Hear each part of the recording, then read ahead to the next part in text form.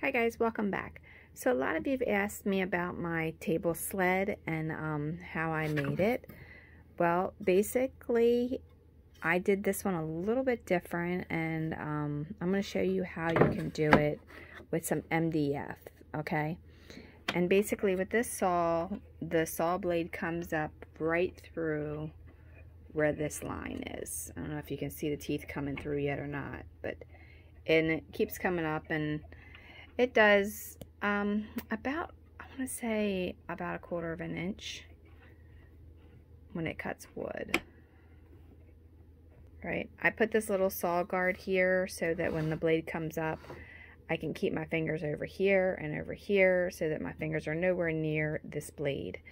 I do plan on putting a clear plexi piece across the top of it to also have an extra um, piece of safety since I'm not using the little guard that came with it. Okay, so the first thing I did is I got some MDF and um, you can use regular wood if you want, but it needs to be about an eighth of an inch.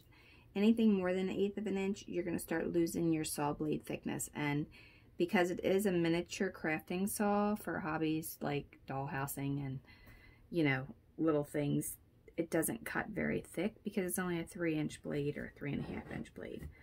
So you need that. Then you need to get yourself some one um, little one by, I guess they're one by two boards. And I cut three of them. On that one, I only had two and then a piece.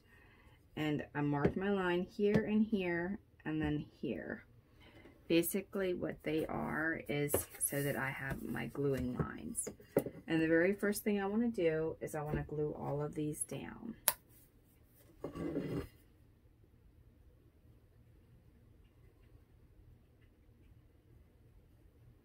Make sure your glue is spread out evenly because you really don't want it pushed out because then you're going to have to sand it and you want to try and keep that surface as smooth as possible. Okay.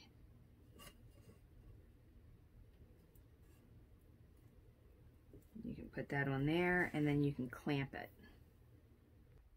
Okay, once you have it clamped in place, that needs to set up and dry. All right. And you want to repeat that process for over here. But the only difference is, is you're going to glue these two together. So, you know, put some glue right down in the middle of these two.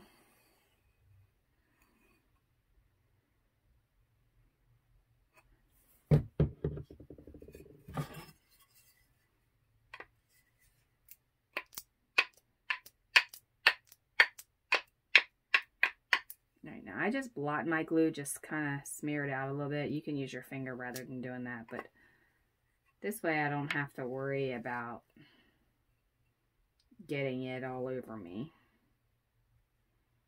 Okay, so you want to clamp these two together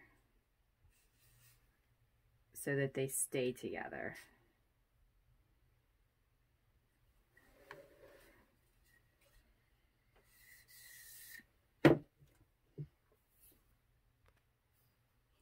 All right, so once the side is started to set up on the right side where it's a single board, you can remove your clamps. This here, you want to put some glue on it, and then you want to go ahead and glue it down and clamp it here at the same as we did on the right side. Okay, now when you're gluing this, you want to make sure that it's square in case your board is not. Because if your board is out of square, then your wood is going to be out of square with every piece that you cut. So make sure that you have it squared up when you're doing this. And then clamp it the other way. All right, now once it's all dry and it's on there, double check to make sure everything's square.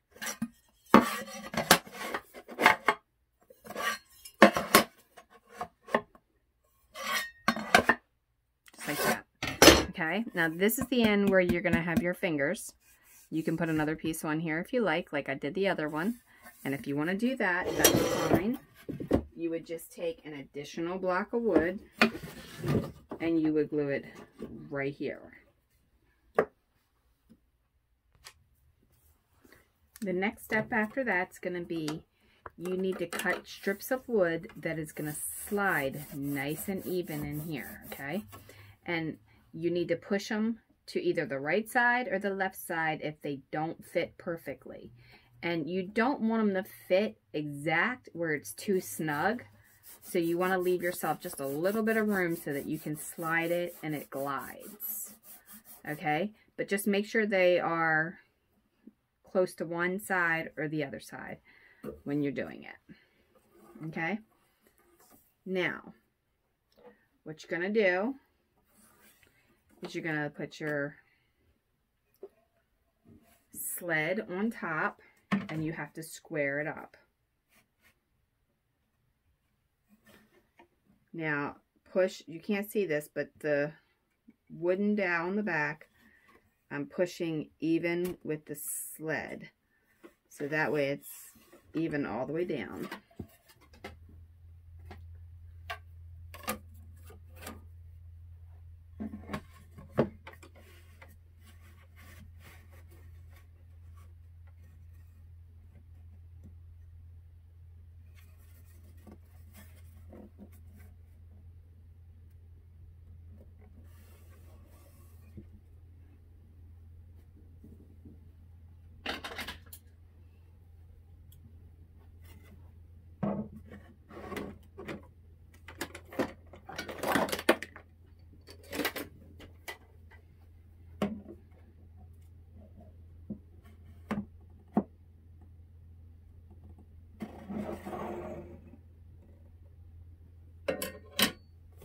Okay, now hold that in place. And you'll have to square it up again if it moves like it just did for me. Okay, now they're even in the back. Let me redo this.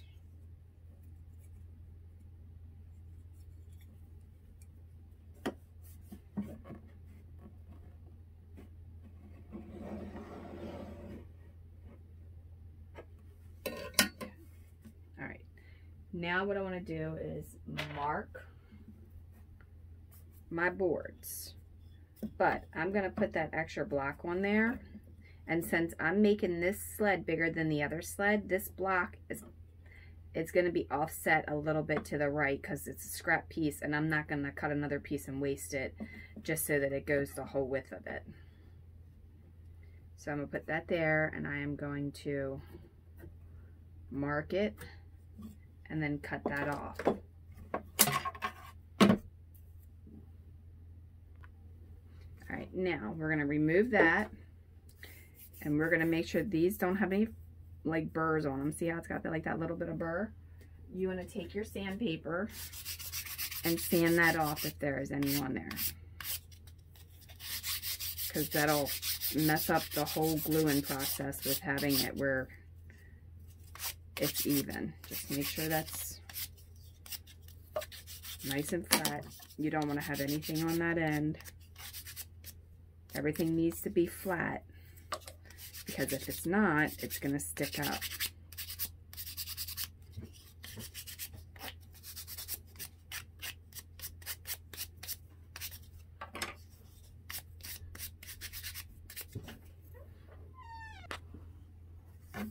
Now that's done. Then what you need to do is you need to take this and put some glue on it on each one.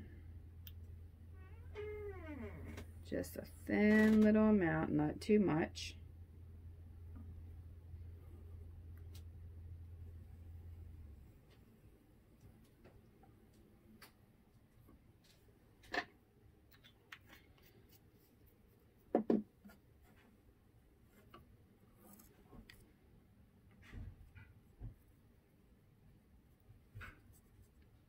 This is basically just squishing it together to get that glue to blend in and then I can see where I've got too much and I can wipe it off before I put it on here and have it all over the place in the sled.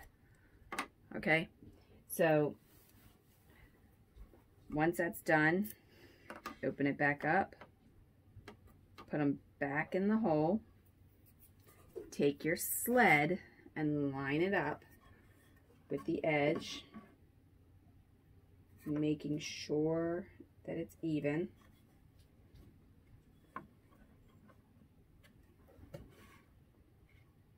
That way you're squared up again.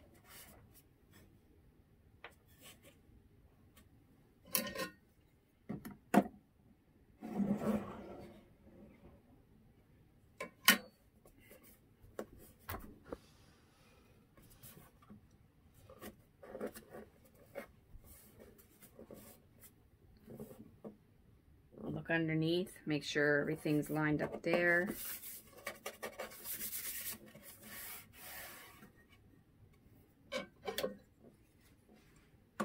And I'm just holding this right along with the metal.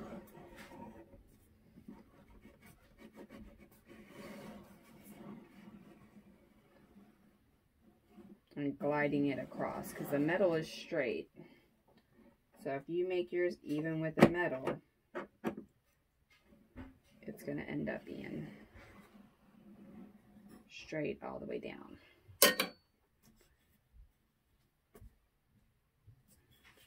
Okay, now for my little piece of wood that I have here, let me pull you back some so you can see. Hmm, all right, you are going to put a little bit of glue on here.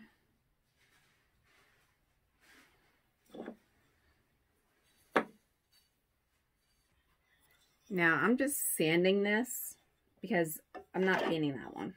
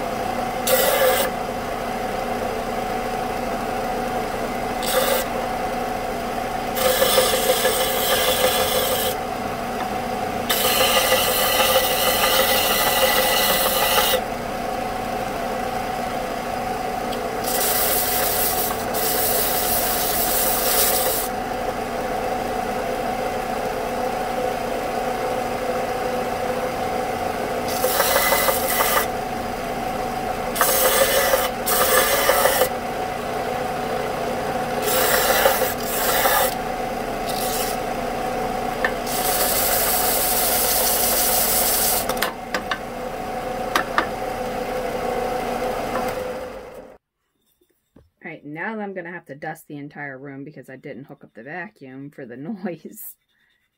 We're going to put some glue right along here.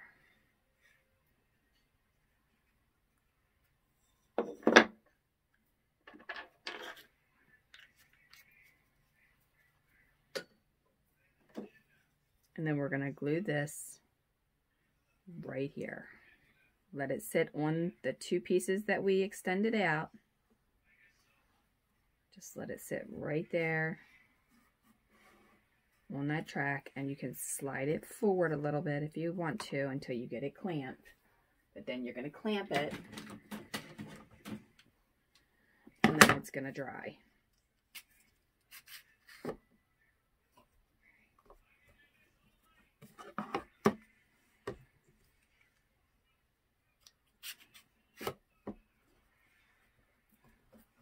All right, now you need to put something really, really heavy here. And actually, I'm going to rotate my clamps so that when I put something heavy there, it doesn't get in my way.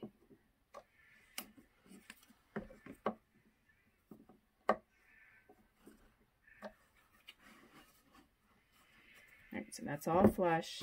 That's even. Now you need something super heavy. All right, let it dry for about two hours so it's got a good cure to it and then we'll come back and I'll show you how to put the hole in it and how it actually works. Okay, so once all your clamps are on there, you should be able to glide this back and forth, just like this, really easy. If it doesn't go, then it's not lined up down here properly. And it shouldn't be like all over the place, like you shouldn't be able to like do this with it or anything like that. It should be just like that. Now, again, I made this one bigger than I did the previous one because I wanted to have extra pieces here. Like here's my previous one. And then the one that they actually sell for this saw, I ordered it when I ordered the saw weeks ago and it still hasn't came. It's on back order. So I can't really attest to what it's made like, but I do know that theirs is a board here, a board here, and one board here. It's all like wooden MDF and then um, there's no roller or anything like that. So that's just a plain simple one and theirs is closer to this size. This one I used um, some regular basswood, glued it together by pieces and put it together. Then I cut the hole out for that. And then I glued these little boards on here. Now, with this one, what you have to do is you have to line it up on your right and left side. Okay? Do not use your fingers because you will end up chopping them off. And that wouldn't be good. You are going to turn your saw on. And then you want to hold this down because you don't know where the saw is exactly. I mean, you know it's like within this vicinity, you know, but you don't know exactly where it is. So you want to hold something on there, not your hand. Okay? And then you want to raise the saw blade up gently.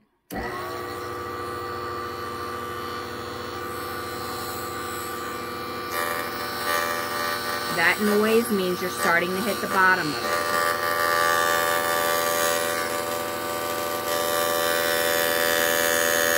I'm slowly turning my saw blade to come up through the wood.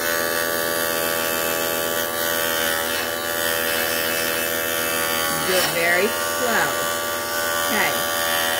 Now, if you can see, turn it off for a second. If you can see, the blade is starting to come up.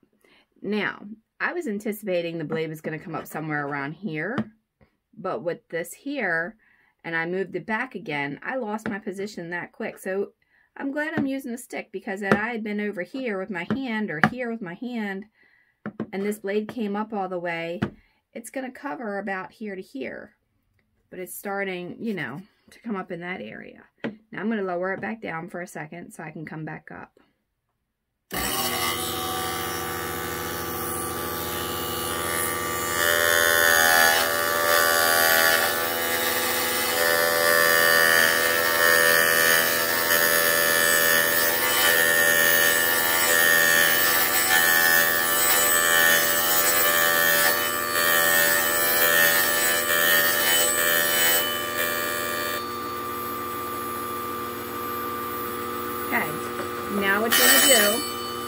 Hold it flat with your thumbs over here and here. And you want to slightly glide it. Keeping pressure going downward.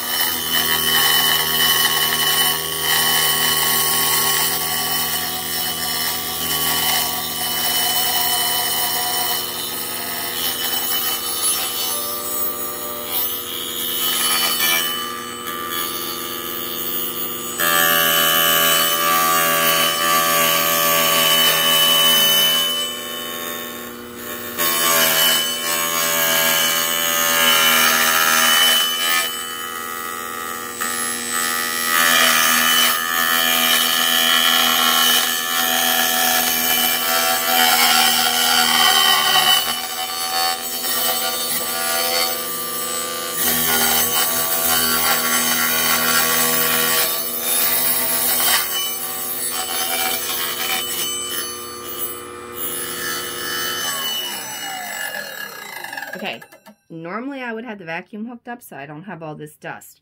But the vacuum would just make too much noise for you guys to hear it. Now, I don't need the blade up this thick for what I need to cut. So, I'm going to lower it. And then I'm going to do a little test piece so you can see.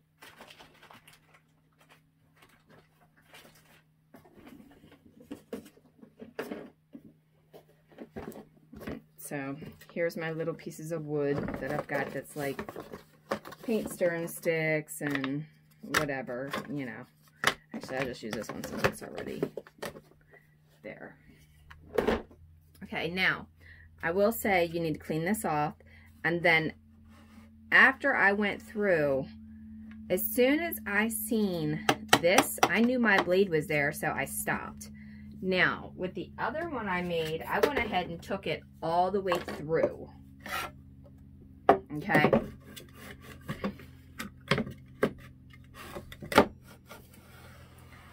And you could just kind of go all the way through with the other one too, but I put those extra two pieces of boards on mine because, I don't know, it just kind of makes me nervous with that blade. I mean, like, I don't know, maybe it's my father all those years drilling it into my head about how safe I need to be around a saw because it can take your finger off like pretty instantly.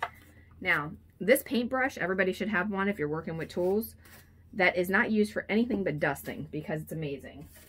It just really helps you out with that dust. It lets you sweep it all out of the area that you're in. Now, what you're going to have to probably do is for the first time, if your board has any like splinters in it or anything from the first cut, you don't need to sand it a lot. You just need to go like one or two passes just to get that off of there. And if you have any in here where you can't get it with your sanding block, just go ahead and take a little piece by itself and do it or a nail file. Okay, so here is the thing that I like about the table sleds. I'm to try and get to where you can see the wood. I don't know if I'm to be able to or not, but I will try. But I like the table sled because what it does is it allows you to keep your fingers away from there. So when I go through with this, I'm less likely to get my finger caught up in there because they're outside of the area. Not saying it's not possible, but it's less likely. Okay, and then they sell fences and they sell these little feather boards and stuff like that that you can use for, you know, the saw that slides in these tracks. And then you can just kind of use that as well. And the other one holds it down. We'll talk about that in another video. But it still has your hands very close. And again, having my hands close to the table saws make me nervous. I don't mind using the rotary arm saw, but table saws make me nervous. The miter saw, the bandsaw, all those are fine, but I guess it's just, just that exposed blade. And again, you know, you can use the guard that comes with it, you know, and it'll keep the wood from kicking back a little bit. But a lot of times the wood doesn't want to go through there with that on there, so people take them off, which is a big mistake. And um, using this sled kind of helps me feel better about not using that. So you do what you think is safe and, you know, what you should do. But um, I also plan on, which I don't have today, it'll be in a part two video, I'll do it. I'll have to go to the hardware store and find some. But I plan on putting a plexiglass shield going down the middle of this but because I made this bigger, I don't have plexiglass large enough. But that way, when I'm holding it over here, this is also blocked and my hands aren't going to get caught up in there like they would possibly do if I was to be like, oh, let me grab that real quick because it's going to stop me from grabbing it. All right, so now let me show you this real quick and then um, that'll be it for this tutorial.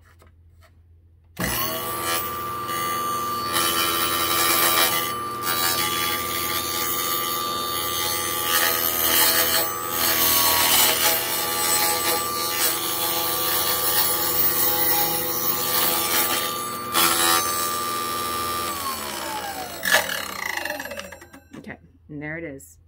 It's straight. All right, I'm going to do it again, only this time I'm going to cut the blue off.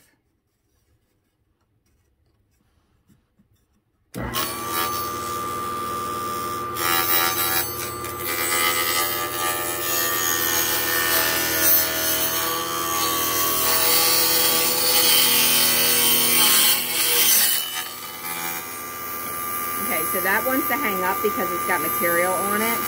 So I'm going to use this to keep that from happening.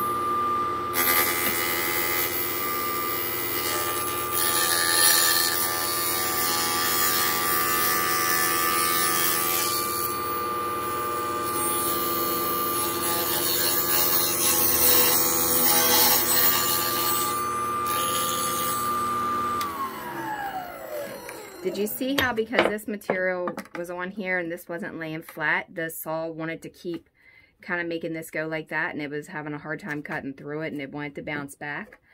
That's something you need to pay attention to when you're cutting wood because if you got a really warped piece of wood and it's twisting up this way on one side and twisting down that way on the other side, when you go to put it through that blade, it's going to kick back at you.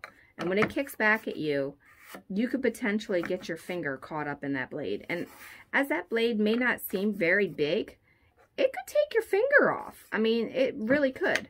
So use um, a lot of caution when you're doing table saws and, you know, just be smart about what you're doing and aware of where you're putting your hands, okay? Again, paintbrush for dusting. It works great. All right, and I always put my blade back down when I'm done. And then for a safety feature, I have this plugged into an outlet that's hidden because I don't want anybody to come in here and mess with my stuff, mainly the teenager. Um, so I end up, you know, finding the outlet and then I have to turn it on and then go from there and then it's a little inconvenience, but it makes me feel better. All right, so when you have your saws, again, you know, just be careful about what you're doing, be aware, and hopefully um, this tutorial was helpful. It does, with it being a little bit bigger, it does kind of want to weigh a little bit more than that one did, but I think that's just because, you know, of how it is but it works perfect. I mean, I lined it up here. It's doing what it needs to do. It's gliding really easily. Not having any issues, you know, with that. I did come through a little bit on here because I didn't stop quite as soon, but that's okay. I mean, that's perfectly fine. But the next tutorial that I'll do, um, will be posted on my YouTube channel. So like and subscribe if you want to see it. I'll put a piece of plexiglass across here. And then I'm going to do some angles. So all I have to do is take a piece of wood and put it on here with the angle. And then when it goes through the blade like this, it's going to cut off a 45. So that'll be something I'll do as well. And then if you want to cut something that is a thin piece of wood, that's just very, very narrow, kind of like this, you can always clamp something like that to the wood to where you don't even have to have your fingers on it. You can just clamp it on one side or both sides or however long it is. And if you want to take and do um, the same exact slice every single time, I can tell you a trick that my dad told me. Okay, so you get yourself a stopping block. That's what he called it and you would clamp this to this. Now, I have to set it down to do it because I don't have five hands. But you would clamp that to that, okay? And again, be careful when you're holding it because now you've got something in your way. But every single time you take this through that saw, it's going to slice it. And then you're going to have this piece. Then you take it and you move it down and you put the next one in there. And then you've got that piece. And then again and again. And then you can have a 100 pieces the same exact size as long as you don't move this block. And as long as you keep pushing that up against there. That's just a little build tip. And um, again, just a quick overview. And then, you know, so you have it. MDF is what I use for the bottom of this one. This is basswood. It's 1 8 inch. This is just regular old lumber that's like a 1 by 2 I believe, or 1 by 1 No, I think it's like a 1 by 1 because they're not really measured as they say they are. But um, I, it was like, I don't know, relatively reasonable. You can buy it in oak if you want, but you're going to pay a lot of money. If you buy it in the regular lumber part, you're going to have some warped boards. You're going to have some that has like little splintery type things in it. But if you're okay with sanding it down, I mean, you can see I sanded all that paint off and this looks pretty good. I mean, I'll have to sand where I went through again, but it looks pretty good for, you know, a reasonable board. So it's definitely usable. And then um, I just stripped down the bass board. It was a two inch piece of bass board. I stripped it into the thickness of these holes, you know, or these miter, I guess they're miter slots, you know, for that. And then slice through it with the blade. Now, I also have a zero clearance piece of plastic on here. It comes with a metal piece. I don't use the metal piece. It has too big of a gap in it. Um, all my little stuff falls through or it gets caught up in it. And I don't like that. So I like having the zero clearance. When you buy the saw, if you decide you want this saw, it's on um, Micro Mark's website. They have a couple um, types of it. This one was the more expensive one than the smaller one. And you can tell because the one has an output on the side and the other one has an output on the back for the vacuum. But um, this piece here is definitely a little bit extra. And it's worth it. So that's, if I had to buy something and say, okay, I need to have something, that would be the piece I would get. Right, and I would also buy the additional fence as well. But we'll go over this saw in depth in a different video because it's not really anything that we need to do today.